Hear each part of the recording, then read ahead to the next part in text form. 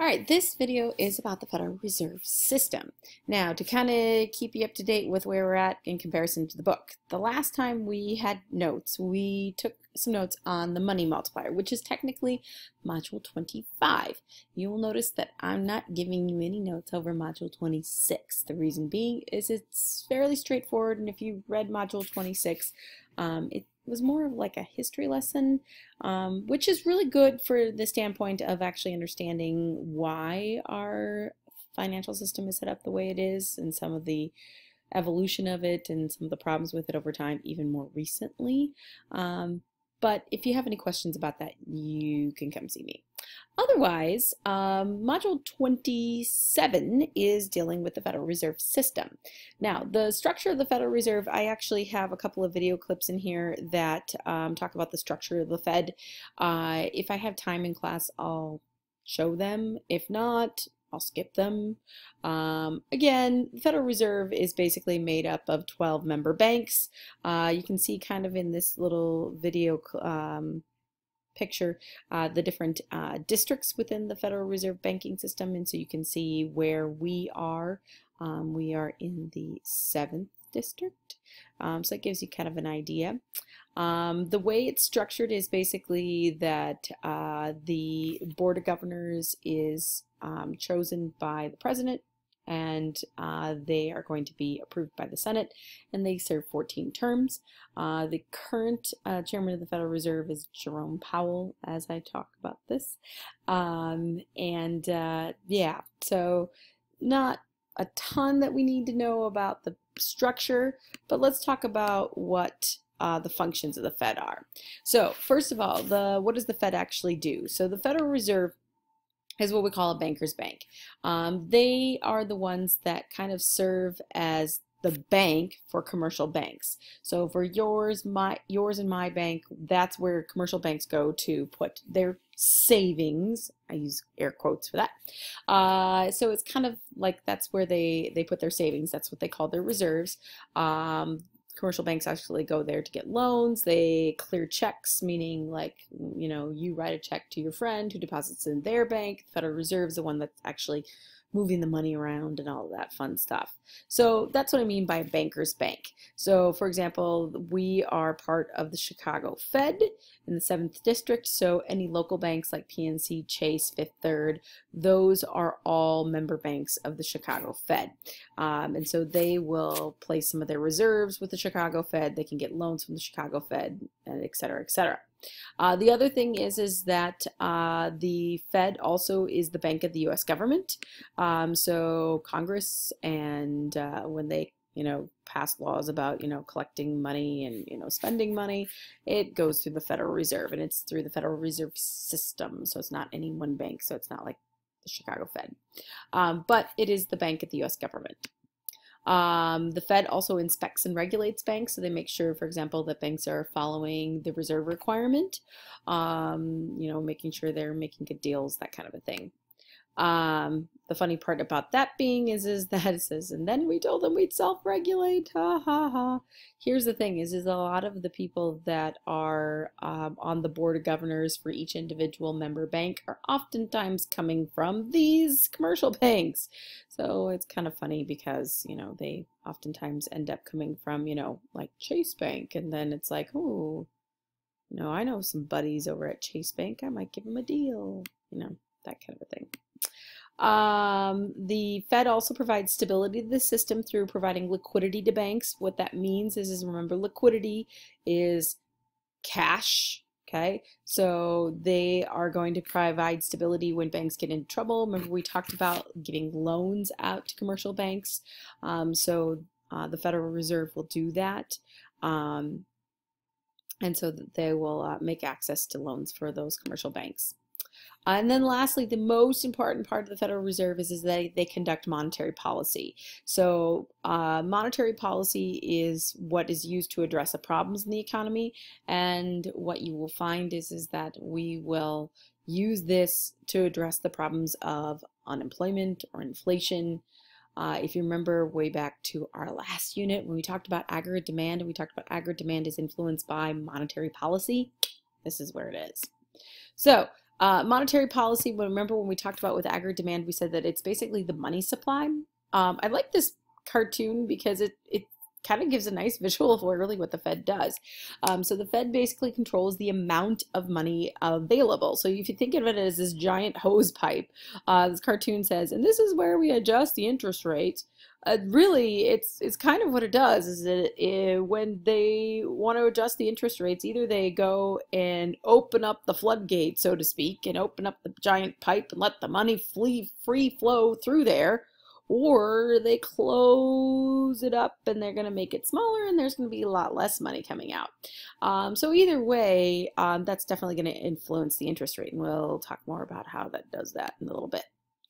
Um, and then uh, the monetary policy will also impact the federal funds rate. Okay, the federal funds rate is one that gets confused by a lot of people because it sounds counterintuitive to what it actually is. So the federal funds rate is the interest rate that banks charge each other on loans. So that will be the influenced by the discount rate. So it says this will impact the federal funds rate through the discount rate. So the federal funds rate is the uh, interest rate charged by banks. So if you think about it this way is, is that, for example, it's this way, okay? It's lateral movement. So for example, if PNC has a whole bunch of excess reserves that's just sitting around they're not using, and Chase would like to go and they, they don't have a whole lot of excess reserves and they would like to borrow some money, they may do it uh, where they borrow from the from PNC rather than borrowing them from the Fed. Why? Well, there's kind of a little, you know, PR problem here is, is that, you know, it looks a little bit not so great if you're borrowing from the Fed constantly. Um, you know, that gets reported and out there in the public, and people are like, well, what's wrong with you, Chase Bank? Um, not actually what happens. Um, but so the federal funds rate is going lateral movement. So the federal funds rate is what they charge each other, interest on the loans to each other. Hey, buddy, why don't you give me a loan? Okay discount rate is what they charge from the Fed. So this direction. Federal funds rate this way, discount rate this way. Okay. I'm making it that very obvious because I've had lots of people get that confused. Okay. Here's what I want you to do now is, is that I would like you to go flip to your graphing section of your binder uh, and you're going to add this chart. So uh, just like all the other charts that we've had before, uh, you are going to have, uh, this is going to be about monetary policy tools. So in other words, what I'm talking about here is how does the Fed change the money, the amount of money out there? So if you remember in that, that picture that I just showed you where it was kind of opening or closing um, the, the hose pipe, so to speak, of the amount of money out there. How do they do that? Well, they have three tools in their uh, tool belt, if you go with that analogy. Uh, they have three tools in their tool belt, the reserve requirement, the discount rate, and open market operations. So here's what I want you to do. It says you're going to label this monetary policy tools, leave a room for a graph that will be added later. And then in the explanation part, just like as per usual, you're going to explain what the heck is the reserve requirement, what the heck is the discount rate. Those two are going to be pretty easy because we we talked about them already. Open market operations, not so much. So you're going to have to read in your book, take a look at the explanation. And then you're going to look at uh, expansionary. So expansionary monetary policy, what would increase the money supply? What would I have to do to the reserve requirement to increase the money supply? Contractionary monetary policy, what would I have to do to decrease the money supply? What would I have to do to the reserve requirement to do that? So what I'd like you to do right now is pause the video, read those sections, those three sections on 263 and 264, and then come back. Okay, hopefully you took a look at uh, these three different monetary policy tools. So the reserve requirement, keep in mind the reserve requirement, remember we talked about, is uh, the amount of money that banks are required to keep that they cannot lend out. So how do you increase the money supply uh, with the reserve requirement? You're going to decrease the reserve requirement.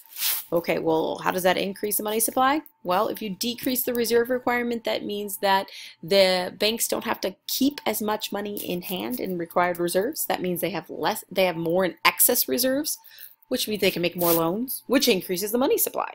So then contractionary is going to be the exact opposite. If you go and increase the reserve requirement, uh, then you are going to mean that they have to keep more of their reserves. They don't have as much to, as excess, so therefore they can't make as many loans.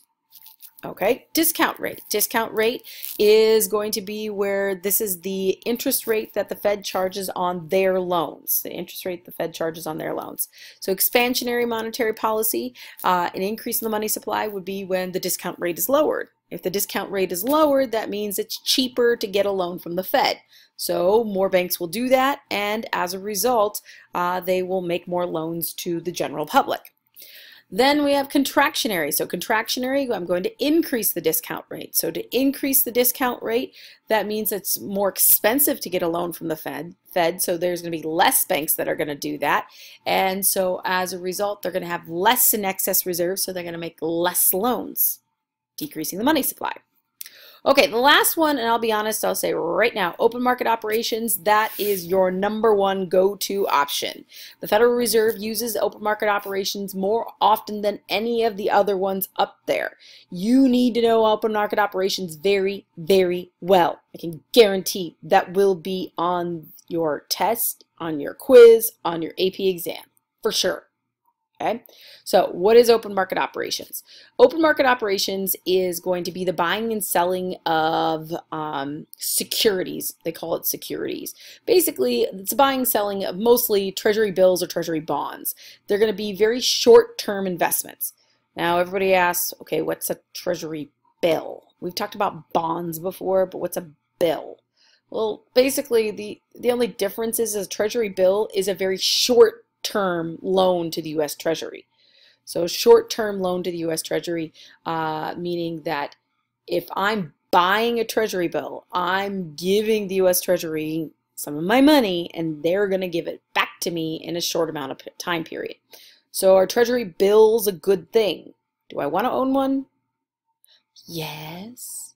They're a financial asset right? So just like we talked about stocks and bonds and mutual funds, those are all things that I want to own because they're going to give me money. Same thing with treasury bills. So open market op operations is going to be when the Fed buys or sells treasury bills, treasury bills, treasury bonds. Okay, so which one am I going to do to expand the money supply? Am I going to buy or sell treasury bills? And when I say I, I mean the Federal Reserve. All right, so expansionary monetary policy, we're going to have the Federal Reserve buy treasury bills. Okay, how does that expand the money supply? Well, if you're having the Federal Reserve buy treasury bills, doesn't matter if they're buying from banks or if they're buying from the general public, what happens is, is that the Federal Reserve, in order to get the treasury bill, they have to give the bank or the general public money. I want your treasury bill, here's some money. Okay, well, that means that there's more money out there in circulation. If the bank has more money, they can use all of that to go and make new loans. So buying treasury bills are going to put more money in the hands of the bank to make loans or more money in the hands of the public to be able to just spend. Contractionary monetary policy is going to be when the Federal Reserve sells treasury bills. If they're selling treasury bills, in order for the bank or the general public to get a treasury bill, they have to give the Federal Reserve cash. That means that's less money in reserves for the bank and it's less money in the hands of the general public. So as a result, the money supply decreases. All right, hopefully that made sense. Hopefully you were you filled it out and you checked your own. Okay, uh, if you have any questions about it, please let me know.